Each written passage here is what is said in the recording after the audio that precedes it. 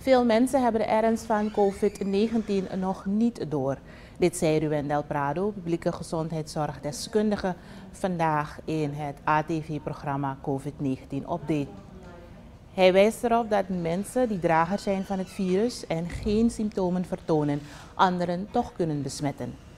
Del Prado geeft aan dat dit een van de redenen is waarom dit virus zo snel is verspreid over de wereld. Dat mensen zonder symptomen anderen kunnen besmetten, lijkt volgens Del Prado niet goed door te dringen bij iedereen. Er zijn mensen die zeggen, ja, het is niet zo ernstig. Het is gewoon een virusinfectie van de luchtwegen.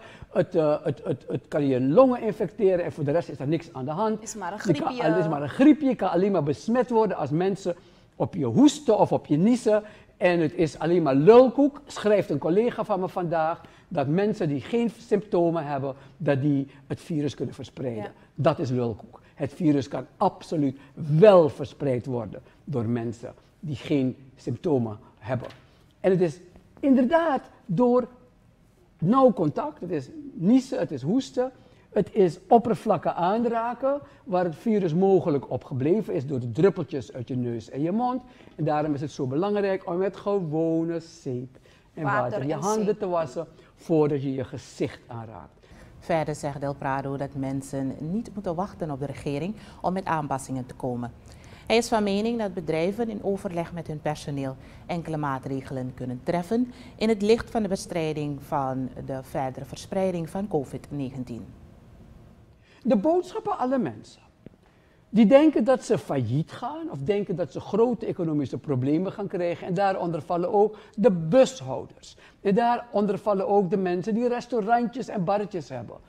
Wacht niet op de president, wacht niet op de overheid. Vanaf nu ga kijken in jouw bedrijf, in jouw kantoor, wat je vanaf nu aan moet passen, niet aan kan passen. Kijk naar hygiënische maatregelen van je telefoons, van je toetsenborden, van je wc's, van je toiletten. Begin die maatregelen te nemen in overleg met je personeel. Begin daarmee.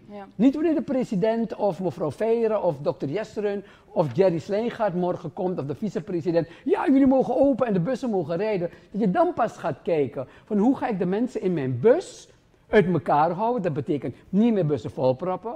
Zorgen dat die ramen open gaan. Zorgen dat bussen met de airco niet met een uh, airco rijden. Zorgen dat er hand sanitizer is. En zorgen dat die bus elke avond wordt schoongemaakt.